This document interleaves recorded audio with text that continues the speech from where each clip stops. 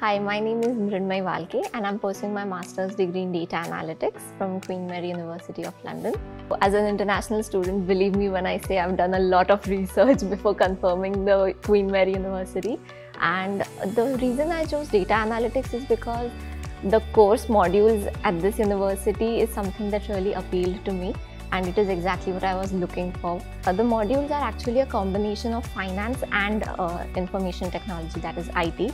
So basically it can involves financial modules like financial data analysis and uh, real and digital asset analysis, which gives you a peek into the finance modules as well while you're pursuing your uh, data analytics degree and the coding modules are also really effective like sql you can more you can learn more about sql r programming so it is very important and very effective when we apply for jobs in the future uh, so when I was uh, doing some research before confirming Queen Mary, Queen Mary stood out the most uh, because of the advice and counseling services, because of the careers and enterprise services.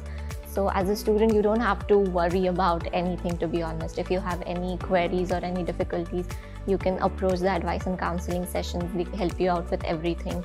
Similarly, if you have worries about jobs or how you're going to do after graduation, getting part-time jobs, full-time jobs, then that is the point where careers and enterprise service comes into view and they help you throughout the process like um, from creating mock interviews, taking your mock interviews, making sure you feel confident about speaking up at the interviews, uh, strengthening your CV, and getting you uh, job applications or landing you interviews. So that is the most beneficial services Queen Mary has offered, which I did not really find in other universities.